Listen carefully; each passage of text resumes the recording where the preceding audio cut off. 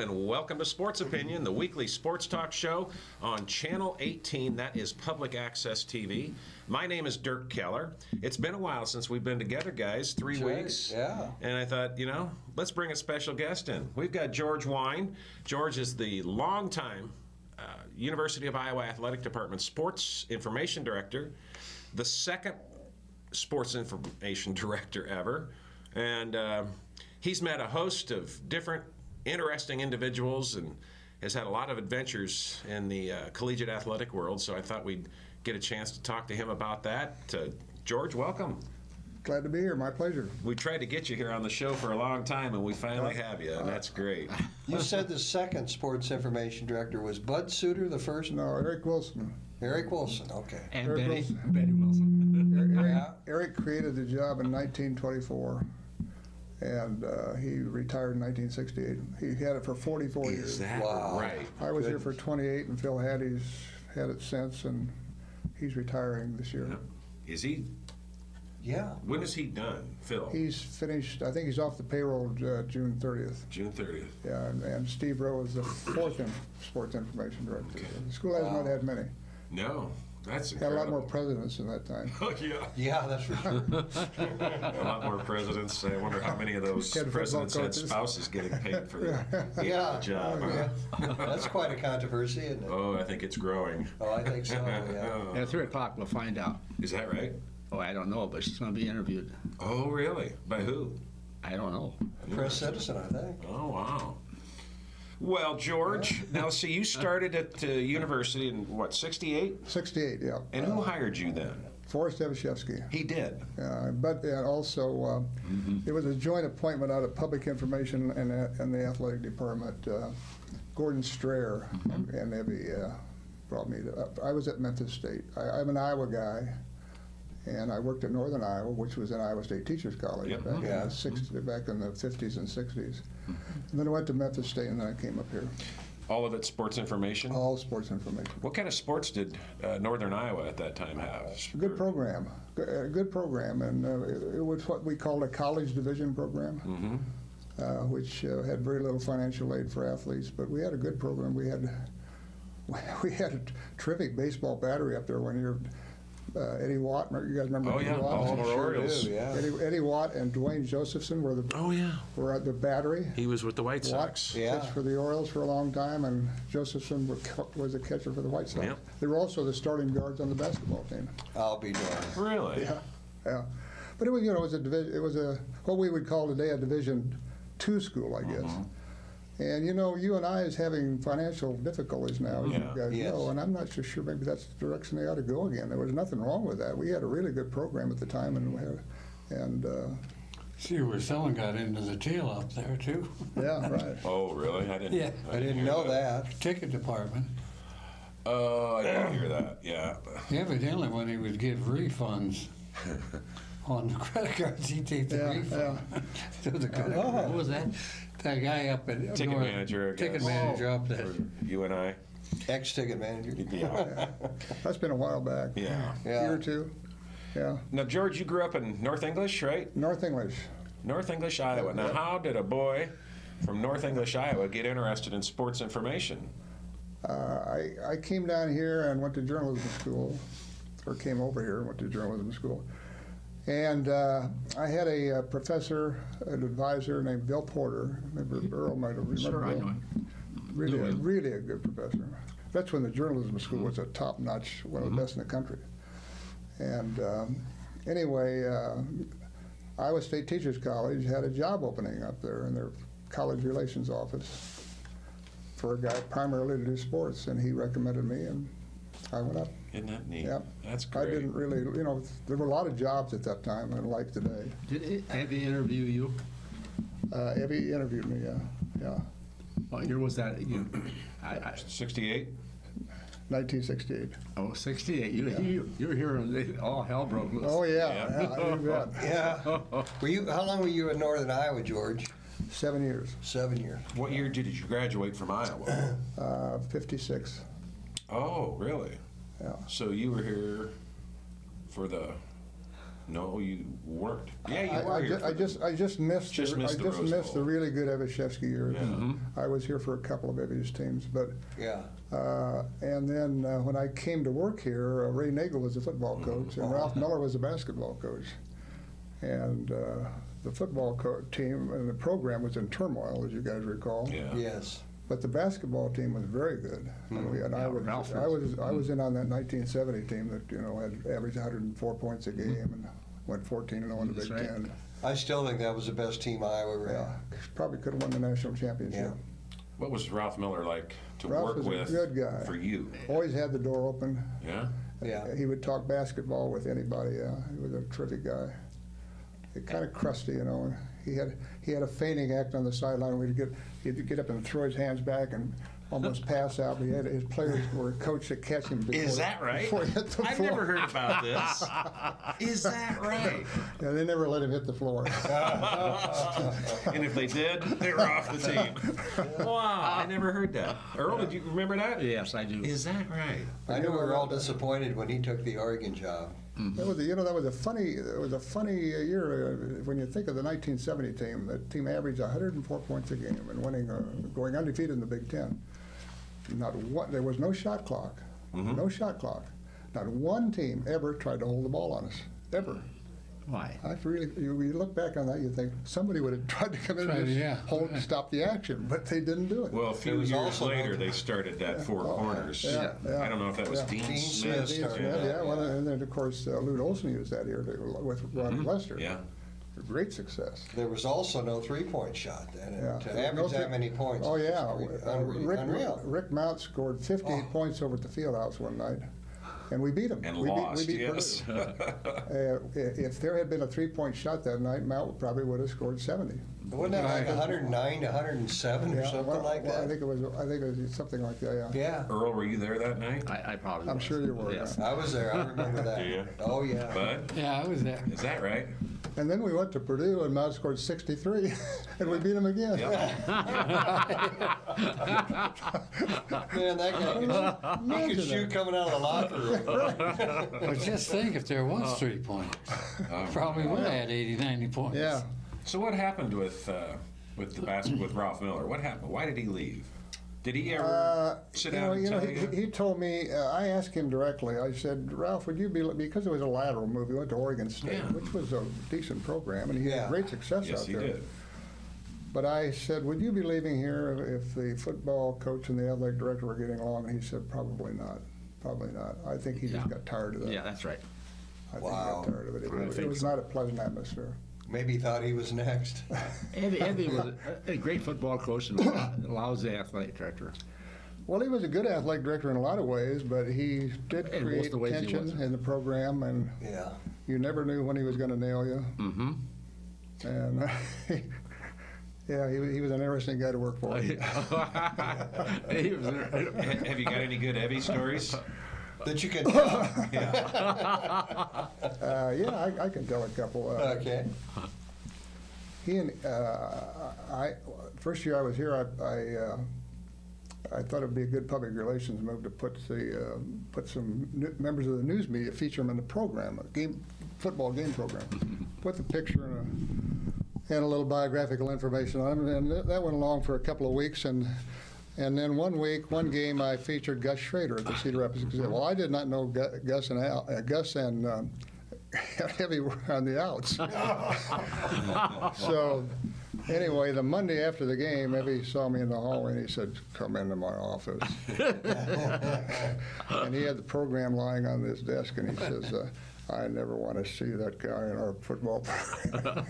yeah, he he uh, he was an interesting, he was interesting. yeah, he- an interesting study, as you might say. Uh, So was Yeah. Evie uh, the kind of guy who would tell you he's not allowed in the press room post game, or I'll tell you how. I'll tell you how. Uh, he never did that with me. No, he really kind of let. He, he really never really interfered with how I uh, ran my operation much. Uh, he. Um, but what he did do, you know, how, how times have changed. Uh, our press, football press box then was for the press. yeah, Yeah. I mean, it was for the press. And, and Bob Flora, who you guys know, was Evie's athletic, uh, assistant athletic director. He had one assistant athletic director. Now, now they got about 15 of them. if, if not more. So Bob Flora was the assistant. Now, Bob Flora's job on Saturday at at a football game would be, he would prowl the press box and look for people who were supposed to be there. And then he'd just literally throw them out. I bet he- literally. Literally, yeah. And, yeah. And uh, one, and we would have a staff meeting on Monday morning. And uh, I won't tell you the name of the person, but, but the, Evie, Evie, Evie did not like the did not like the guy that Flora found up there and bounced him. So uh, Evie said in the staff meeting, he said, "Okay, who let that so and so?" And so uh, he looked at me and said, "Did you do that?" I said, "Evie, I don't even know him." Thank goodness. yeah. And uh, so well, he, he he got to the bottom of it. Who did it and just dressed the guy down? But you know that's the way. That's the difference now. I mean, he, it was strictly for the press. That's kind of the reason. Yeah, and, that, and that's there. kind of a novel, novel idea. Press box for the press. Yeah. Yeah. Now, th- did they have coaches up there at all in that era? Oh yeah, yeah. They oh, would have oh, yeah, Oh yeah, coaches. yeah. I tell you who started that. I think was uh, Jerry Burns when Mm-hmm. uh, on Evie's staff. I don't think uh, I don't think anybody was ever in the press box before Jerry Burns went up there. Mm-hmm. And if for some reason they decided they would send back in the '50s, you know, Yeah. Well, they called him his spy in the sky. yeah. Abby didn't, Abby didn't like spies. And he, if I remember right, Purdue game. interviewing. Yeah, Purdue. did that, too. was They had a for few trees. Yeah. I don't know if those guys are true or not. Don't- Now, when you were a, a student here at the university, did you work for the Daily Iowan? Yes. You did. Uh-huh. And so you covered the games. I, I covered uh, covered. Uh, you know, we had those great basketball teams uh, with Yeah. Sharm, Scheuerman, Seaberg, and Cain, and Logan, Yeah. And uh, Deacon Davis, and so and so. Uh, Okay. yeah, I covered those those two teams for my last two years. And those were fellow students of yours. Yeah, Did yep. you develop relationships Yeah, with those well, guys? well, The when original I, when I- Fab Five. When I when I got the Iowa job, the first call I got was from Sharm Scheuerman, who wanted to sell me a house up here. Oh? I was down in Memphis. I got a, a phone rang. It was Sharm. He said, "I got a house for you." Did you buy it? no, I did not. Was, uh, was Richardson his partner at the time? yes, yeah, yeah. Scheuerman Richardson. They're both Yeah. dead. Yeah, Yeah, they yeah, are. yeah. Yeah. Um, Prematurely. so, so uh, we had Abby, and then we had some others, and finally Hayden Fry. Yeah, well, Bump, Bump followed Evashevski. Yeah. Oh, I'm sorry, as athletic director. Yeah, Yeah. athletic, Uh, yeah. well, let's yeah, let's talk Yeah, about Bump. yeah. We'll get to Hayden in Yeah. a minute. Yeah, well, he, he Bump, Bump certainly lightened the mood in the athletic department. I will put it that way. Yeah. yeah, yeah. Bump, Bump was a terrific athletic director. He What was really- that, 70, 1970? Bump came up in 1970, yeah. Okay. And uh, Evashevski left in 70, and Nagel was fired in 70. And no, he was fired in 69 and then rehired Right. for that. And then he was not, his contract was not renewed in 70. And then Lauterbur came in in 71 for three years, and then Bob Commings in football f- for five years, and then Hayden in 79 for 20 years.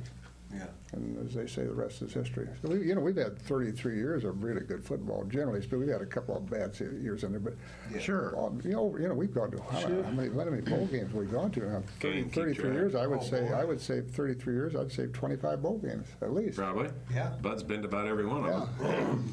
Now, uh, you mentioned Hayden, and speaking of history, you wrote a book with Hayden Yeah. called High Porch Picnic. Yeah. Tell us a little bit about the process of, uh, you know, coming up with the idea. Was it your idea? No, a publisher came to us and uh, approached us about the book.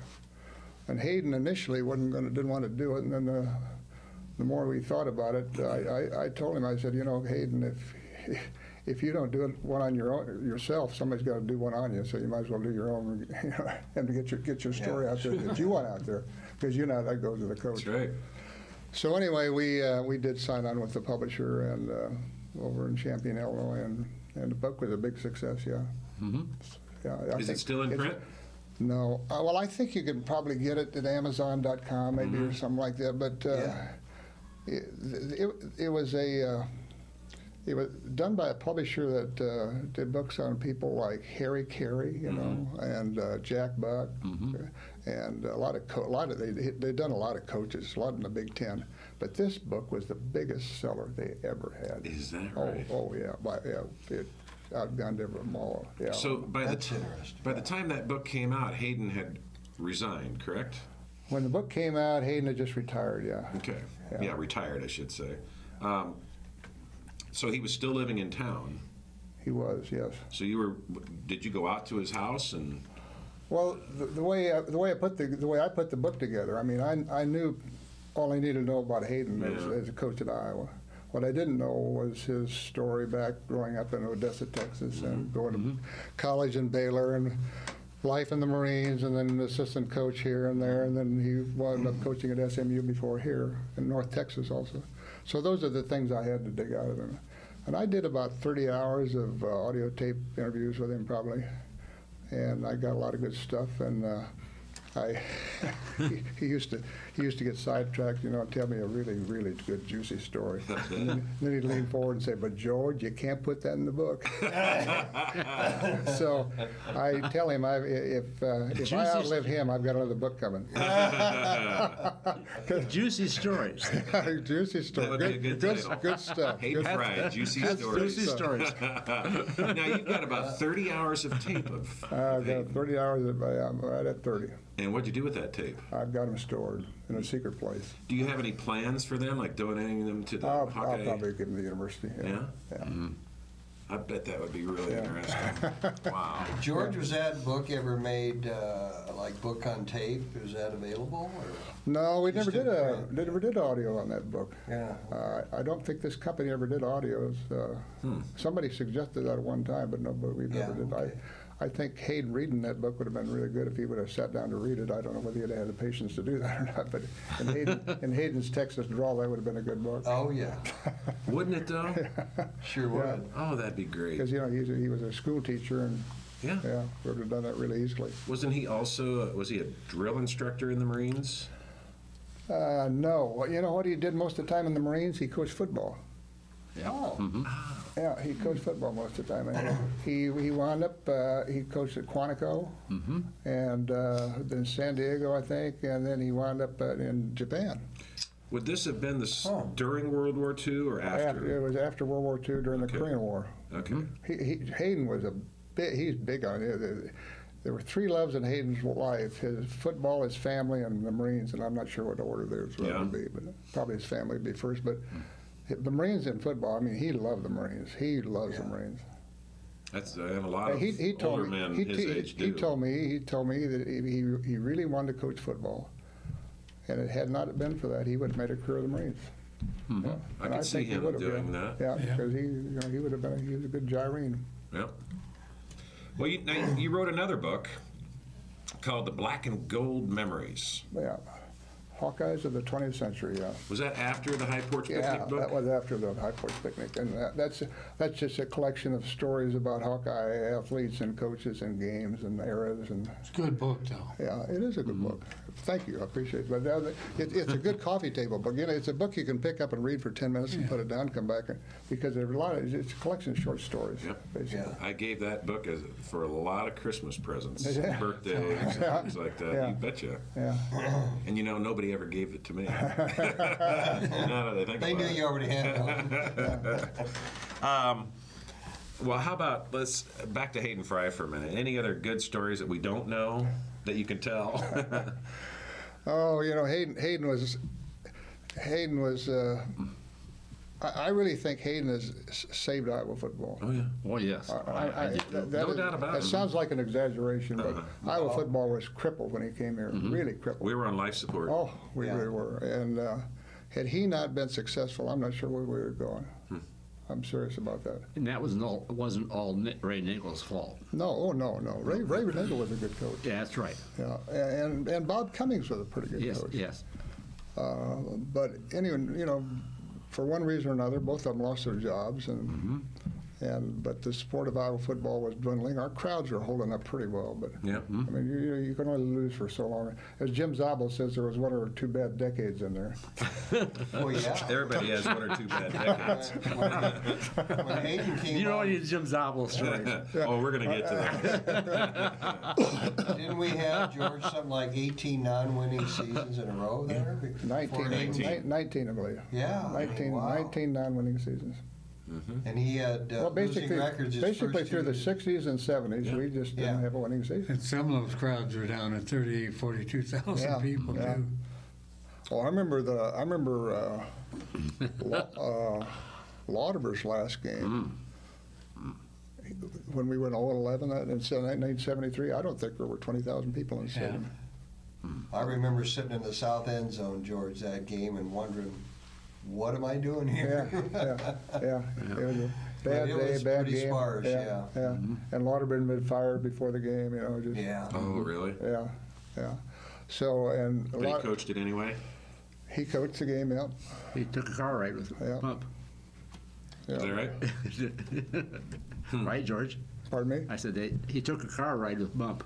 Yeah, he took, it. yeah.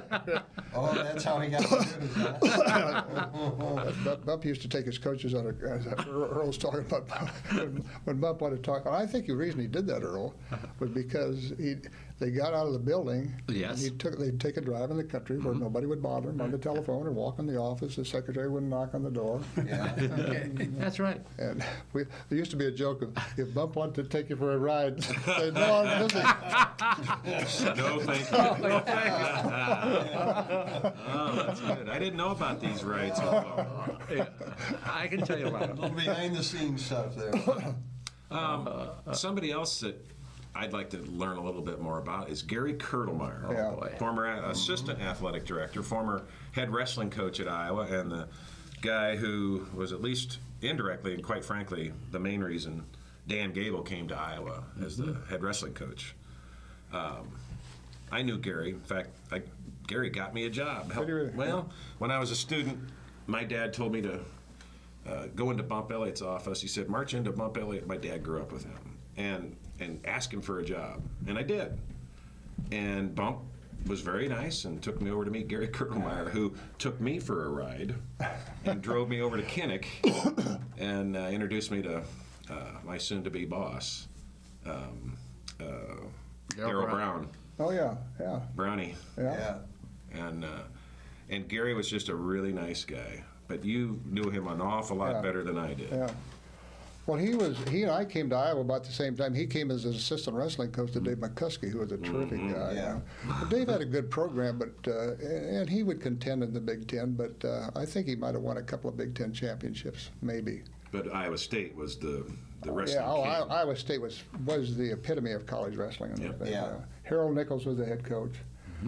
And at that, you know, that time, Gable was just, just Gable was just emerging as the greatest college wrestler in the country and all of that. And uh, anyway, um, uh, McCuskey retired, and Bump gave the job to Kurdelmeier. And I remember Kurdelmeier used to come up to my office and have coffee, and I said to him, uh, Jerry, what are you going to do now that you're the head wrestling coach? He says, well, he says, first of all, he says, I'm going to wrestle Iowa State, get them on the schedule, which we never. They never wrestled No, each no, other. never, no, uh, uh, never did. Didn't, we didn't do anything with Iowa State. Didn't play, play base, baseball with them. Yeah. And um, anyway, so I'm, I'm going to wrestle Iowa State, and then I'm going to beat Iowa State. Then I'm going to win the Big Ten championship, and then I'm going to win the national championship. Says, oh, I said, yeah, really? It's just like, pretty easy, huh? Well, by God, in two years he did that something? Yeah, he well, he you know he said the only way I can make this a really good program, a nationally ranked program, is to wrestle Iowa State, and I've got to beat them. That's right. And uh, so he did that, and he won the. He, won- I think his second year he won the. I think his second year he won the Big Ten championship, and then his third third year, third and fourth year he won national championships. He won two national championships. Mm-hmm. Then he retired, gave the ga- job to Gable, and the rest, as they say, is history. Well, and he he kind of added insult to injury to Iowa State by taking by, Gable. by swiping Gable. out- Yeah. right off the You campus. forget one man. Yeah, Yeah. It turned everything around, Yeah. really, for both programs. And Roy Carver. Roy Carver. I was gonna say, how involved was Roy Carver was uh, or a big wrestling fan. That was his favorite sport by far. I mean, no, nothing was even close to it. He took care He of was the a he- program. Roy was a heavyweight at Illinois. Really? Uh-huh. And uh, he just loved wrestling. And uh, uh, he, when we were trying to build interest in the program, he, he, Roy contacted me and he said, "What can I do to help wrestling?" He said, "I'll do anything." So I said, well, "Let me think about it." So I looked at our schedule and I noticed we had two wrestling meets over in Michigan, Michigan, Michigan State, and we played basketball at about the same time. Well, I figured I could get our media guys, some of our top writers, you know, to go over there for basketball, and then I would make them go to the wrestling meets because they didn't cover wrestling. I mean, they didn't go to wrestling; they just didn't do it. And so we we loaded up uh, Roy's. Uh, he had a Falcon jet that seated about 15 people, and I got Russ Smith, Gus Schrader, Al Grady, uh, somebody from the register. I got all the radio guys. We loaded up the plane, and I, I said, "You guys," I said, you, th- you, "This this trip is on one condition: you've got to go to the wrestling meet and cover the wrestling meet. You got to do it." so they did it. And Did they uh, know what they were talking about? didn't, no, not much. Yeah. Not much. Yeah. Uh, but they gave wrestling some some pretty good PR because we had a pretty good team by that time. You know, and we were one of the national championships. But that's the one way that uh, Carver and I kind of got together, and he was he got them all in his Falcon jet, picked up the tab, and Did, did he feed the uh, media? oh yeah, oh yeah, oh yeah, yeah, yeah. yeah. He, uh, we we ate well, drank well, yeah. Isn't that something? Yeah. Different era. Oh, yes. Mhm. Different. I mean, they can't tell the media what to do these days. No, that's right. That's right. But but uh, Roy was a big big help and a very instrumental in building our wrestling. And because Gary, I know Gary, uh, and he worked together closely. I, I don't know how closely, but both both are dead now, so Yeah. Yeah, both- Yeah, that's right. we'll never know. I guess. They worked pretty closely, I've read, to get Gable here. You know, Yeah, we've, we've yeah. read Yeah. about the clandestine Yeah, right. things that they did. Going, well, uh, whose idea was it to go to Dan Gable's parents? Gable's told that Oh, story. I, I'm sure it was Gary's idea. Gary, Gary was a great thinker. You know, Gary was such a you, know Gary. Gary Yeah. was such a quiet, laid back guy. Very quiet. That's why when he told me what he was going to do with the wrestling program, I man, I can't believe it because I, I, this was kind of an easy going, laid back guy. You know. you ever see him get excited? Not I mean, even at a, even at a match, he His kids were the same way. I worked with one of his sons and daughters Yeah. pushing brooms over there at Carver and Yeah. Kinnick and uh, or at Fieldhouse and Kinnick, and they were the same way. Nice kids, Yeah. quiet. Couldn't get a rise out of them. It was, you know, we wasn't joke some- around a lot and couldn't get them to laugh. Wasn't there some relationship between Gary's wife and Nichols? Yeah, uh, Nichols was her, her uncle. That's right. Who's Is Nichols? that right? Oh, Harold Nichols. Harold, Harold Red Nichols. Harold Nichols was a wrestling coach at Iowa, and they're both That's from right. Cresco. Okay, say that Right. again. Nick Harold's Harold wife. Nichols was, was Harold Nichols was uh, Gary Kurdelmeier's wife's uncle. Oh, okay. I'll be darned. Yes. Wow. and they're all all of them were from Cresco. Gary was Gary from, too? Mm-hmm. Gary too. And Nichols too? Nichols too. Ah. I'm pretty So sure. I'm pretty Gary sure and about. Nichols I'm pretty get sure. along About, I'm pretty sure about Nichols. Yeah. Did they get along well? Nichols and Gary Kurdelmeier? Uh, as far as I could tell, yeah. Did they ever? Did Gary ever wrestle Iowa State? Did his teams? Gary, Gary's team. Yeah, oh yeah. Yeah. He- he- oh so yeah. there was no problem getting them he- he- scheduled after he became. No, Iowa, coach. Iowa State was willing to schedule us, but in those days we did not. We did not compete with Iowa State in Yeah. anything. Any, I mean anything. We didn't play basketball with them. We didn't play football with them. We didn't Yep. run track. We didn't golf, tennis, nothing. So the wrestling really started up. Yeah, kind of wrestling probably was about the first thing I can recall. Then we, when- when they opened that new building in uh, uh, Hilton Coliseum, our basketball team with Dick Schultz took a team over there and, and played a game. I remember that was the first time we'd played Iowa State in basketball for I don't know 30 years. Wow. How do you feel about that rivalry, George? You think it's good for both uh, schools? Oh yeah, yeah, I think so. I think do so. too, I but think some so. people don't Nope. care for it. Yeah. Yeah, I think I so. Uh, well, you know, Paul Brechler used to say, Paul, you know, Paul Brechler wouldn't give Iowa State the time of day, which is one reason we didn't compete with Iowa State. Yeah. He said we had everything to gain and nothing to lose, and he just wouldn't. And That's how I feel about it. yeah, but uh, I, I think it's, it's, you know, they, they've got a nice stadium now, they got a nice arena, it's, it's, it's a lot different uh, situation than it was 50 years ago. My first year here as a student was 77, and that was the year we renewed the football uh, game with Iowa State. And to this day, I have never seen the kind of excitement on campus and in town as that first week, first time that Iowa had played Iowa State in football in, what, 50, 60 years? I mean, it'd been a long time since my grandpa had been at Iowa State. Yeah, You know, Didn't they win the first three games? No, we won the first one, like Okay. 12 to 10. Oh, that's right. And they were heavily favored. That's the one where they came out with the beat Iowa mm-hmm. on their Bob, jerseys. Bob Commings was, Bob co- Bob Bob Commings Commings was was coaching. coach. Oh, yeah. His son was a quarterback, wasn't he, yeah, that game? Bob, Bob, Bobby Jr. Jr. Bob Yeah. Jr. was a quarterback as a freshman. Yeah. See, but now they got a nice stadium, nice And, uh, campus. And uh, who was it? Uh, did John Lazar run about? Uh, Yes. he- John Lazar scored two touchdowns. He did, and he scored a very critical first down late in the game when we had the lead, and and uh, pretty much salted the game away. John Lazar from Tama, Iowa. Yes, he was. we had two, two players from Tama. Well, you know, the, the, the way I look at that rivalry is it's, it's it is more important to Iowa State than it is to Iowa.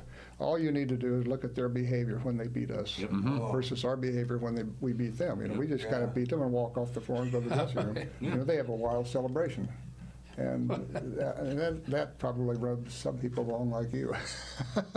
Yeah. And I can see why. Yeah. You They know, need to I, act like they've been there before, you know? Well, and, and they have been. before, That's right. But I wish they'd act like it. I, I ate with Bob Commings that, that particular night After the game after the game. in '77. And he walked up to me and he hugged me and he said, hmm. all he said was one word, finally. Finally. Finally. Ah. Yeah. Who was the? We had a kicker, Dave Holsclaw, I Yeah. believe, who kicked a field goal to put us up. We were down 10-9, and it was a kind of a rainy, overcast day. Uh, it wasn't raining during the game, but it was threatening, and it was uh, I don't know medium range field goal attempt, and that stadium got so quiet. I was on the sidelines working, and. Uh, I remember looking around going, geez, did something happen? And no, it's just the field. And he made it. And um, that, It was again, really kind of a dull game. It was a Oh, very, yeah. very defensive game. You know, Well, De- the, defense- that one touchdown run yeah, the defense exciting. defense is dominated. Yeah. So you mentioned Paul Brechler. Uh, tell us a little bit about him. They named the press box and luxury suites now Yeah. after him. I never worked for Paul. I knew him as a student, and he was always really good. I was with the Daily Iowan then, and he was always very nice to me when I needed help when, from uh, the athletic director of the athletic department. But uh, he uh, he had a great program in the 50s. I mean, he, had, he his program in the 50s was about like Bump's was in the 80s. I, we were at the top of everything. Rolling. Yeah, Yeah. especially Yeah. football and basketball. I mean, Evashevski, Evashevski had the best program in the Big Ten his last five years here, five or six years. here. Sensational. Uh, Bucky O'Connor had the best basketball program in the Big Ten. And Were, were you a we're- student here when Bucky O'Connor was coach? Yeah. I was here for the, his two uh, championship teams. What was it like when he died? I mean, it was Well, out of season, but I was then working at Iowa State Teachers College, Oh. and the state was absolutely stunned. he died up near there, didn't Yeah, he? he died near Waterloo. He was coming up to speak at the Sports of Sorts Club, Mm-hmm. which was a weekly group they had up there, and uh, he died in a one-car accident. and Nobody saw how the car went off the road. They kind of theorized he was dodging a chicken or something. They were, Ducks. but that was just a theory, I think. Wow. He might have gone to sleep or something. Who knows? But it was a one-car wreck, and uh, he was. I'm not sure he was 40 years old yet, was he? Mm, I don't think so. 42, 43 in there somewhere. What kind of guy was he? So terrific guy. Oh, yeah. He's terrific. wonderful. Yeah, just a- Irish Wonderful. through and through. Yeah, just a really yeah. nice person. Yeah. He was a big buddy of Cretz Cretzmeyer's. Oh yeah. Now there's a character. Francis X. Cretzmeyer. Got any good Cretz stories? I know you do. One was, one was Max O- Yoakum. Oh, that was in McCuskey of Hilcom. Yeah, okay. Uh, Francis Cretzmeyer was the longtime UI track Oh, okay, coach, track and field Okay. coach, Yeah. and a pretty you know pretty doggone good one. Yeah, Uh-huh. he had some nice teams here. Yeah. He he uh, won the Big Ten championship uh, the year the year before I came. Uh, I think in, It was- indoors he was 68. His Mhm. outdoor team in 68 didn't win it that year. So it was I don't think, because that's the year I came here. I, I was here in May of 68. Hmm. And uh, Well, he had Larry Mazork and those guys were Yeah. on that team, I think. Yeah. So uh, sh- surely you've got a good Good Cretz Cretzmeyer story. Uh, he, he, he used to do a pretty good impersonation of uh, of uh, the guy. Uh, uh, tell, help me out here. The guy who did the public address at the Drake Relays. Uh, uh, Earl? I, I know who you're talking about, but I can't. I'll come up with the he, name. tr- he trilled his R's. Yeah. In the line three. and Cretz would say, "Oh, for Christ's sake!" Yeah. I can't. I cannot think of his name. He was a legendary uh, guy in the public address. He, I mean, he, he really kind of made the Drake Relays. Mm-hmm. Sort of like Phil Haddy made the our wrestling name. Uh, Haddy, uh, that's Yeah. what Kurdelmeier Gary put. Kurdelmeier Kur- put put Haddy on, the- on the. He knew what he was doing, Yeah, didn't he he? did. Yeah, he, he said, "Go crazy," and he went crazy. No, I. All right, Gary Kurdelmeier tells Phil Haddy, who is the, ret- the outgoing sports information director at Iowa, Yeah. tells him to go crazy on the mic, just let her rip. What were some of the things that Phil Haddy used to say back in the early Uh, days? I know there's some. Phil, Phil had certain people he would pick on. Uh, one was Ivor Stanley, who was a businessman, a friend of ours up in Cedar Rapids. Did you know Ivor? I know And Ivor. Phil would say, that, you know, this is before six or eight thousand people in the uh, field, the old field house days. Phil would say, Ivor Stanley, call your psychiatrist. I knew it. How'd you go to say?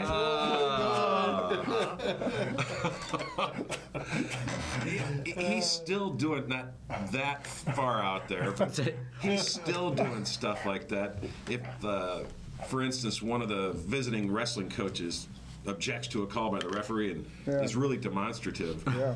he'll yeah, yeah. he'll make some snide Well. Iowa, Iowa State uh, claimed that Phil was worth six or eight points on the for in a meet. You know, they, Really? They really thought that. Yeah, they, they thought he got to the referee and yeah, he was. You know, Uh, he. Will he still do that, him. do you think? Yeah, he Earl, said he would. Earl's got a story here.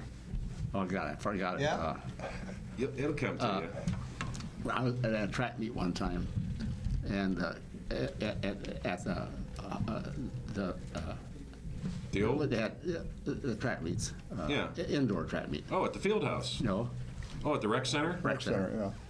yeah. And, uh, uh, and I looked over and I saw Cretz lighting up a cigarette, sneaking it up in the far corner. And I told Haddy about it. Haddy said, Tattletale. Francis Cretzmeyer, Francis Cretzmeyer. Looking around, he said, "Put out that cigarette." This is on the PA. yeah, oh, and it was just fine. It's not a big crowd there. you know. Oh, I just. oh.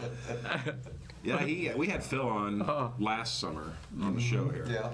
And he tells some great stories. Oh. He doesn't go back as far as you do. he, he's one of the last connections to the old field house. Yeah. You got Streefer, Yeah, you got uh, Coach Fred Mem or Fred Mims. Fred Mims, yeah. Um, there's one other that Phil mentioned.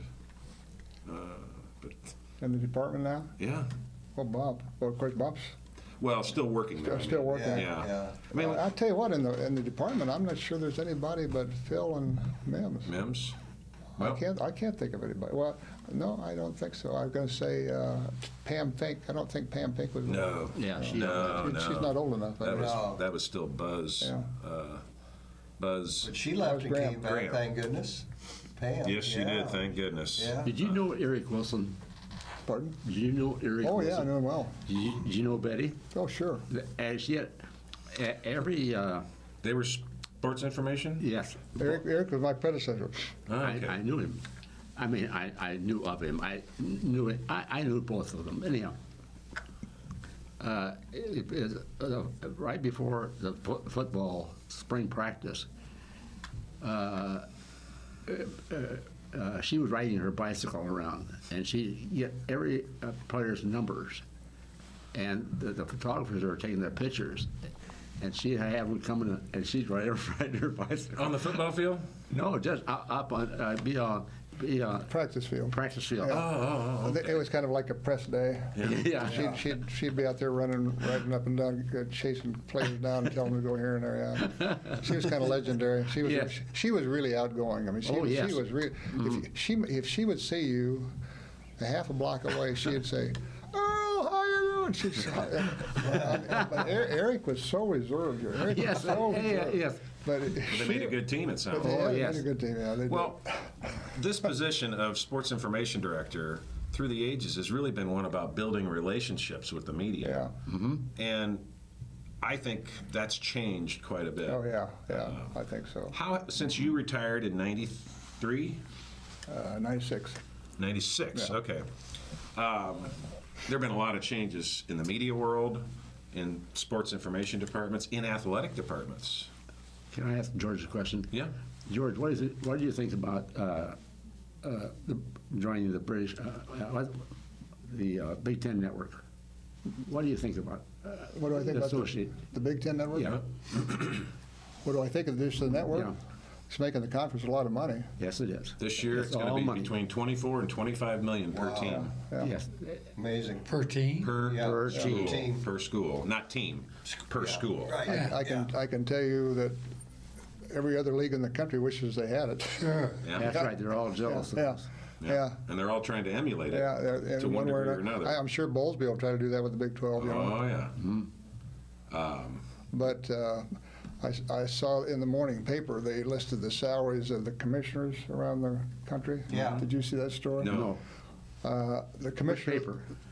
Uh, USA Today, but the Register carried it also. Okay. And uh, I figured when Bowlesby went from Stanford to the Pac-12 that they must have backed the truck up for him. Mm-hmm. Uh, but here's what here's what the here's what USA Today reports. Uh, Jim Delany at the Big Ten gets 1.8 million dollars per year, Two million. and he of and he is not the highest paid commissioner. The highest paid commissioner is in the uh, Pac-10. I Hmm. can't think of his name. He gets one point almost two million. Okay. Uh, it didn't have Bowlesby's salary because uh, Too new. he's too new, but his, prece- his predecessor, when he got fired, was making about a million and a half. So I'm figuring Bowlesby's Yeah, probably uh, making more than 2 I'll bet he's over two, Yeah, easily. yeah. So these these commissioners are. Mm-hmm. It's are the money, well. money, Yeah, money. Don't, don't don't feel too sorry for the commissioners. I never have. Well, when he left here, I think he was making about, uh, what, 350, Yeah, 375? probably so. I think Stanford doubled that, didn't Yeah, I think so. Yeah.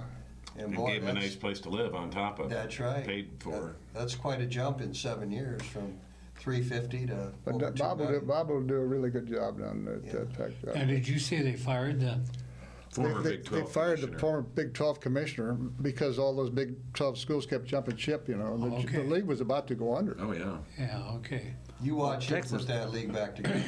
Well, there's talk now that the Big 12 is going to be more than 12 teams. That Florida sounds like State, Florida Notre State's Dame, going maybe? in. There's big talk about Notre Dame, Yeah, big talk. and as well as Florida State. Uh, I don't think Big, Notre Dame will ever join the Big 12. I can't see it. No, I don't either. I All would- their I would natural not- rivalries I would would be bet a lot gone. of money against But I that. bet Florida State does. Mm, They're going to have to join the conference, though, guys, with this BCS change Yeah. coming on.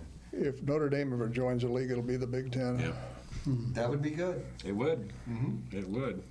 I tell you what I don't like about the Big Ten Network is the impact it's had on start times for football and Oh, yeah. basketball. Yeah. And you know, I think they promised a lot of things as far as programming for women and wrestling and some of the, if you will, Olympic sports. And I don't, I don't see it. Um, it affects wrestling start times when they do involve it with their programming. Uh, I don't like it. Well, I'll tell you how sports have changed. We're talking we're talking about the old days versus today. Uh, there was a time when the that we had a we had a, a group of faculty members that ran the athletic program. It, it was called the faculty uh, the, board, the board in control of athletics. athletics, The board in, in control of athletics Yep. at the University of Iowa. And I'm telling you, they were in control Mm-hmm. because the faculty controlled the Big Ten. Yeah. And by God, they I mean, if they what the faculty said went. They had their pictures in the front page of every and I'm wondering, and, program. and, one- and of course, one of one of the one of the members on the, our faculty was Bob Ray, who chaired Mm-hmm. that committee for so many years, and he was president of the NCAA a number of years. I'm wondering what Bob's been dead now for almost 30 years. That long? I'm wondering what he would think today if he came back and saw these start times, playing on Sundays, playing late Saturday night, play, Friday- play, on playing, Friday? playing basketball games on the other side of midnight. I mean, it's just nuts. Playing, I don't like the fact that Uh, we're and- playing and and Thanksgiving then they- week. and- But then they, then the NCAA keeps hammering this student athletes, they're student hyphen athlete. Well, if they're students, treat them like students. Don't make them play, don't make them play at, el- God did not intend for football to be played at 11 o'clock in the morning. Or to play 13, 14, 15 Yeah, games in a season. yeah, It's not Yeah. good for the Uh, body. Exactly. It's all money. That- That's see, right. that's another thing. When you, when you need more money for the program, they don't, they don't add a football game for the benefit of the football players. They Mm-hmm. add it for the benefit of the other sports. When I was a student, it was nine games Yeah. Mm-hmm. in a season, and tickets were eight dollars. Yeah. When I came here, the, the Big Ten basketball uh, season was limited to 24 games, and only the Big Ten champion went to the NCAA tournament. Yes. Only. That's right. We- And nobody, nobody went to the NIT. Mm-hmm. Didn't allow it because the faculty didn't think it was the right thing to do. And now they're playing a minimum of, probably with the Big Ten tournament, Then they have 34 four games. postseason basketball Yeah. tournaments. Yeah, right, yeah, right. And Yeah. and preseason, and then- and these 38 games, preseason, all these, all this far you preseason stuff, they're playing in November now. Yeah. We used to never start basketball till the first of December. Yeah, and Now you we had, we have, have, have a dozen games in uh, November. you had football players who were able to play basketball. Yeah. You had football players who were able to play baseball or to Yeah, wrestle. Yeah. Um, that's never going to happen again at a, at a Good Big thing Ten is the twenty-four million dollars. There you No. go. It's all There about the bucks. But, but you're right, uh, Dirk, uh, television is now telling the faculty what it will, what- what it will and won't do. You know, in- in, back in Bob Ray's days, the faculty said, listen, our game starts at one o'clock. If you want to televise it, we'll let you televise it. Otherwise, see you later. Yeah. No, they don't have a choice. They have no choice. Yeah.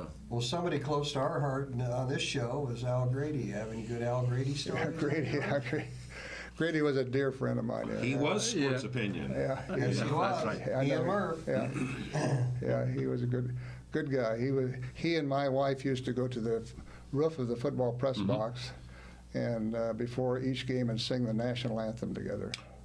Really? Yeah, my wife Ann, who Uh-huh, died, yeah. who died uh, about 28 years ago. Has it been that Yeah, long? yeah, Mm-hmm. yeah. I re- she didn't she work with you? Yeah, she she Mm-hmm. was she was a play-by-play typist, and Yeah. she was really she knew all the media guys. You know, the the members of the media were some of my best friends. You know, which Mm-hmm. is Yeah. Uh, today, with technology and everything, it's such an impersonal sort of a relationship that you don't get to know people. But my God, I saw, I remember all, all Ron Gonder's kids born, you know, and I remember when Bob Brooks's kids were born. And Brooks and Gonder are still two of my dearest friends. Yeah. Good guys. Yeah.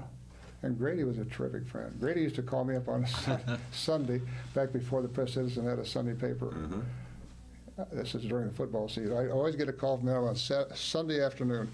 And he would tell me, I would just say, hi, Al, and he'd start talking. He would, te- he would tell me his impression of the football game.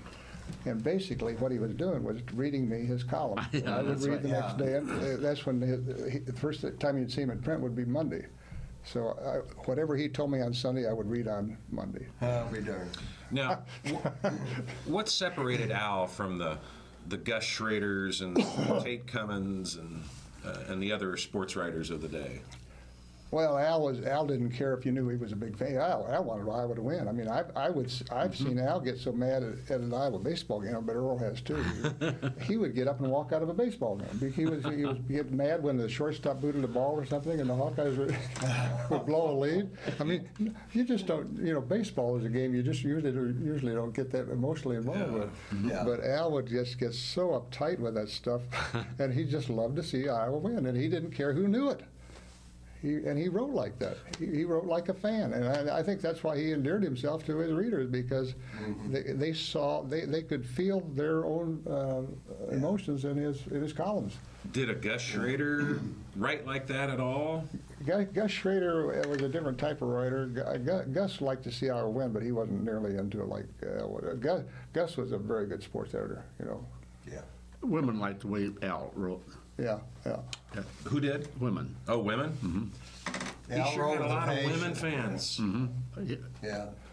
I, I bet it if you broke his ti- uh, column down percentages, he, uh, he had 60 or 70 percent women about thirty percent men. Yeah, And how many sports writers or media people, when they died, left money to the university Mm-hmm. athletic department that they covered?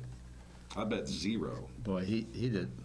That's so unique. He did it before he died, yeah, he did. He left a lot of money to the athletic department. Yeah. Mm-hmm.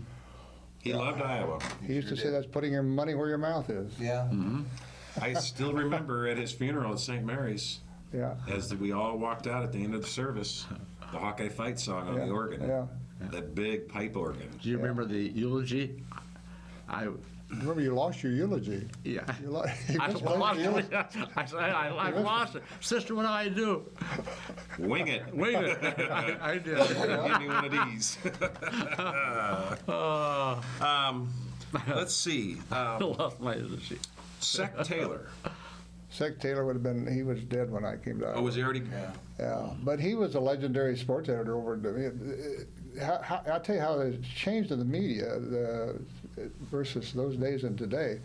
The, um, the biggest name on a newspaper used to be the sports editor. And now nobody knows who the hell the sports editor is. I mean, I, I don't. Do you know who the sports editor is? You, At the Press Citizen, it's uh, Ryan Suckham. have you ever met him? I've met him, Okay. but uh, I'm, I'm not putting Ryan down. That, No, that's just that's- the way. Yeah. That's just the way it is today. Yeah. I, I know Ryan pretty well. He's a nice person, but it's it's just a different world. But when you know Grady and Gus Schrader, Jerry Jurgens at Davenport, Mm-hmm. Russ Smith at Waterloo, Sec Taylor over at Des Moines, those guys were they were the biggest names on their papers. and it was hard work back then. Oh yeah. They had to travel Gu- and they Gu- had to file it Gus, now. Gus Schrader, Gus Schrader. I'll tell you how Gus Schrader car- car- covered Iowa football. He, he's, he, during the game, he was a play, uh, the color analyst for Frosty Mitchell, did color commentary. Yep. Then after the game, he went down, talked to players and coaches, came up and wrote a column and wrote a game story. So he wrote two pieces on the game, plus did color commentary during the game. And it takes a lot out of you to do Oh, yeah, yeah. color or play-by-play of a game. You're you're worn out, and then immediately you have to go follow the coaches and yeah. players and get their stories, and then you have to go write it, and then yeah, it's it's amazing what they had to do back then. Do you remember what we all reached for the first thing on Sunday morning after an Iowa fall football game? Peach Betcha. Pete. Peach. A big peach. A big Peach. peach. Oh man, I'll tell you, that was a wonderful paper. yeah, but- And great With- writing with- with, with all these guys we've mentioned. With the machine gun photos. That's right. Yeah. That's right. See. How about uh, let's talk TV for a second? John Campbell. Yeah. He, I'll tell you what, folks, enjoy him while he's on Yeah, TV yeah. Because they don't make him like him anymore. They don't hire guys like John Campbell who cover outdoors, uh, you know, hunting and fishing and and do that. I think in-depth personal approach to his interviews with football and Yeah. basketball. And, John was taken into the Press Box Hall of Fame uh, last uh, year with Phil Haddy. And deservedly so. We had him in here about what three years ago, and he talked a little bit about retirement, but not knowing when. And we're all hoping that that's not Yeah. soon, but he's getting to that Yeah, point, I'm sure. He started the That same big year that fish is Hayden me. did. he, he came in, he came in the same year Hayden did, and Yeah. and when Hayden shut practice down, oh, did hmm. John get upset. Oh, he really got mad. And he got mad at me because I couldn't talk Hayden into opening practice. I said, what the hell do you want to go to practice for, John? He just said, "It's something you don't have to do anymore, you know? and they, you know what? Those guys finally figured that out. Initially, they didn't like the idea they couldn't get in, but then Yeah. they realized, you know what? If he keeps everybody out, he, I mean, he kept everybody out, then don't have to go to practice. Nobody knows what's going on. Yeah. Nobody's going to get scooped. Yeah. Yeah. Well, John's somebody special. I got to work with him for seven years, Yeah. and he's to to this day. Yeah. I consider him a friend, and Yeah, he, he's, a, he's a really good person. yeah, and he's the kind of guy that when he sees you on the street, you know he's busy. Yeah. He's on his way to another story, but by God, he'll stop and talk to you, and even if it's at a game, you know, uh, that's just the kind of guy he is. And a lot of people in the media, especially TV, uh-uh. it's more about ego and and. Uh, John's one of the throwbacks. Yeah. Is he the guy that started Friday Night Lights Yeah, Yeah. Absolutely. in absolutely. Iowa? Is he the first one? that did it? Absolutely. Yeah, that's and now a big everybody's deal. copying Yeah, that. exactly. Yeah. That's a wonderful program. I love it. You know, it is, it is good to see high school football get that kind of coverage on Friday Oh, night. yeah. Channel 7 does a really good Now job. they do good. that. Yeah. Rick- Theirs is even longer than Rick, Rick, Channel Rick 9's. Coleman has 30 minutes. Yeah. After the news. Yeah, it's after the news. I like Right. that way. Yeah. But, but I like it. You can get Catch all both. the scores. You can get Right. KCRG and then flip it over Yeah. to uh, Channel Seven, and you've got that. Um, we've got about five minutes left, and we haven't talked much about Jim Zabel. Jim yet. Zabel. Where Well, do you begin with Yeah. Jim? Jim, Jim, Jim, uh, you know, Jim has a reputation of being the cheapest guy on the uh, Mm-hmm. Iowa media circuit, and deservedly so. I was going to say. Deservedly so. Deservedly so. He, Jim, but you know, I'll say this for Jim: he he played that role to the hilt. you Yes. He played. He, he Oh. once he got into that thing and he realized everybody was kind of pegging him for a Jack Benny. He just played the hell out of the role. Uh, and and uh, uh, Lute Olson tells a good story. Uh, Lute used to go over to Des Moines to do a Sunday TV show with Yeah. Zabel, Yeah. and uh, he said they would go out to lunch afterwards, and uh, and he said I Lute would pick up the tab, of course. and so he got out, and he said they got out and had lunch, and Lute he said I reached in my wallet, pocket, I, said, I realized it in my wallet. I said Jim. I'm not kidding you. I don't have a wallet. You have to pay for this. and, he, and he says, Zabel told me, he says, he says, well, he says, I'll pay for it if you don't tell anybody.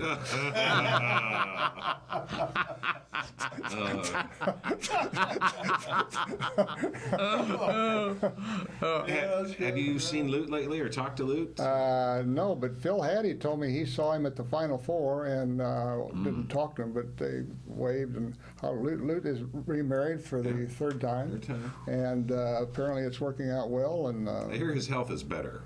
Must be. Yeah. You know, If he's going to the Final Four, it must be pretty good. Yeah. Yeah. Because for a while he wasn't even traveling. He looked, he looked good on TV. Yeah, yeah. Lute always looked good on TV. Yeah. How about George Raveling? Got any good George Oh, Raveling George Raveling, yeah, George Raveling was a piece of work. yeah. George George Raveling left left Tom Davis a motherload of talent. And Oh, Yes, Yes, he did. Nobody had any idea that there were that many good basketball players on the Iowa campus until Tom Davis showed up. Yeah. He won There, 30 games. there, there were eight players on that team that they didn't all stick in the NBA, but they all signed an NBA contract, and a lot of them Think stuck. that. Think that. Eight. Yeah. Well, Eight out of 12 or 13. Oh, man. You know, he turned Brad Lowe, Tom Davis turned Brad Lohaus around to face the basket and became a three-point shooter, and Lohaus made a long career of that in the NBA. I Yeah. hope Brad is eternally grateful to Coach Davis. Uh, That was pretty special. There's a nice guy, Tom Davis. Uh, we had him on Yeah. about five weeks ago.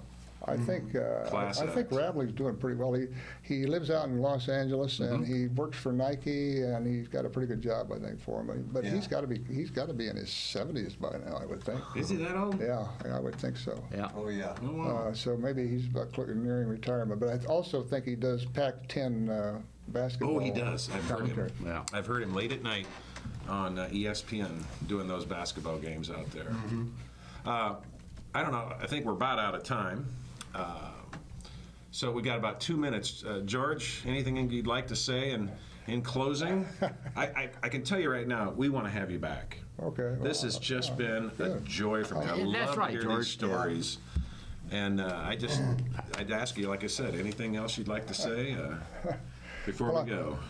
I appreciate being here. It's been my pleasure and always fun to talk about all my old buddies and friends because I had a lot of them. You did. They're And not you've- all, they're not all, ar- all around anymore, but Gene Clausen's another guy we. Oh, Oh, yeah. yeah. Oh, he's a An hundred. Iowa City favorite. Yeah. Golden voice. Good guy, too. yeah. Really had, good had guy. the pipes. As to Phil fly- Haddy says, he always he, Gene had the pipes. Yeah. Yeah. Well put. And, uh, guys, I think this is going down as one of my favorite all time shows that we've done. It's been fun. I just love it. Uh, but we're going to have to say goodbye. So uh, I will just say on behalf of Bud Supel and Bob Boyd and Earl Murphy, I'm Dirk Keller. Once again, thanking George Wine, the longtime sports information director at the University of Iowa Athletic Department, for being on Sports Opinion here on the TV every Wednesday night at 7 p.m. and every Sunday night at 6 p.m. That's Channel 18. If you miss the show, you can always go to my Facebook page and catch it, or you can go to patv.tv, and they've got all of the public access TV shows, including Sports Opinion, on right there. On behalf of all my friends here, we thank you for watching, and we'll see you next week. But remember, either you're a Hawk or you're not. Go Hawks. George, Amen. thank you Thank very you. much. This is a blast.